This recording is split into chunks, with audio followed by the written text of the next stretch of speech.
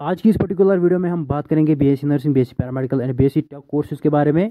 जैसा कि आप लोगों को पता है जेके बोपी ने BSc nursing BSc paramedical and BSc tech courses का जो रिज़ल्ट है, वो ऑलरेडी डिक्लेयर किया है। आप लोगों ने अपने पॉइंट्स एंड रैंक देखी होगी। लेकिन काउंसलिंग में जेके बोपी ने इसको डिले किया है। काउंसलिंग शेड्यूल अभी तक जेके बोपी ने यहाँ पर जारी नहीं किया है। तो जो एस्पेरेंट्स हैं, वो काउंसलिंग शेड्यूल का वेट कर रहे हैं। तो इसी बीच यहाँ पर जे के बोपी ने डिफरेंट स्टूडेंट्स को मेल किया है मैसेजेस किए हैं रिगार्डिंग दियर एप्लीकेशन फॉर्म्स तो बहुत बच्चों को यहाँ पर मेल आ चुका है मैसेजेस आ चुके हैं रिगार्डिंग दियर एप्लीकेशन फॉर्म्स कि आपका एप्लीकेशन फॉर्म हमने एक्सेप्ट किया है? आपने सभी डॉक्यूमेंट्स को अपलोड किया है. तो जे के बोपी, आज के डेट पर क्या कर रहा है? आपके एप्लीकेशन फॉर्म्स चेक कर रहा है वेदर आप लोगों ने सभी डॉक्यूमेंट्स अपलोड किए हैं या नहीं किए हैं. अगर किए भी हैं तो आप लोगों ने सही डॉक्यूमेंट्स अपलोड किए हैं या गलत डॉक्यूमेंट्स अपलोड किए हैं। तो इसी वजह से काउंसलिंग में डिले हुआ है जो वो भी आपका पहले एप्लीकेशन फॉर्म चेक कर रहा है। तो आपके एप्लीकेशन फॉर्म चेक हो रहे हैं जेके वो भी ऑफ़िस में।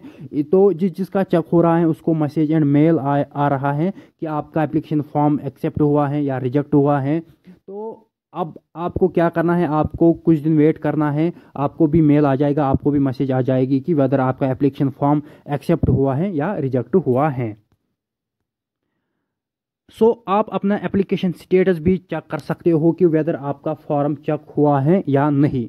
तो उसकी लिंक आपको नीचे कमेंट्स में मिलेगी एंड डिस्क्रिप्शन में मिलेगी। तो डायरेक्टली वहाँ पर आपको एप्लीकेशन नंबर अपना देना है कैप्चा कोड देना है एंड डी देनी है। वहाँ पर आप अपना देख सकते हो कि आपका फॉर्म चेक हुआ है कि नहीं हुआ है। तो अगर आपका फॉर्म चेक नहीं हुआ है तो नो वहाँ पर, आ जाएगा ऑप्शन अगर आपका फॉर्म चेक हुआ है तो यस आ जाएगा ऑप्शन एप्लीकेशन स्टेटस वहाँ पर आ जाएगा फॉर्म सबमिटेड क्योंकि आप लोगों ने फॉर्म सबमिट किया होगा। पेमेंट अगर आप लोगों ने की है तो यस वहाँ पर आ जाएगा। आप उसका यहाँ पर रिसिप्ट भी डाउनलोड कर पाओगे। तो अगर आपका फॉर्म चेक में यस आ रहा है तो आपका फॉर्म चेक इन लोगों ने किया है। तो वहाँ पर अगर आपकी कोई डिफिशेंसी होगी किसी भी डॉक्यूमेंट की तो वहाँ पर रिमार्क्स में दिखाएगा कि आपको ये डिफिशेंसी है। एंड जब आपका चेक होगा तो यस आ जाएगा। उसी टाइम आपको मैसेज एंड मेल आ जाएगा कि आपका फॉर्म चेक हुआ है। फिर अगर कोई डिफिशेंसी होगी तो वो वहाँ पर बोलेगी कि आपकी कोई डिफिशेंसी है।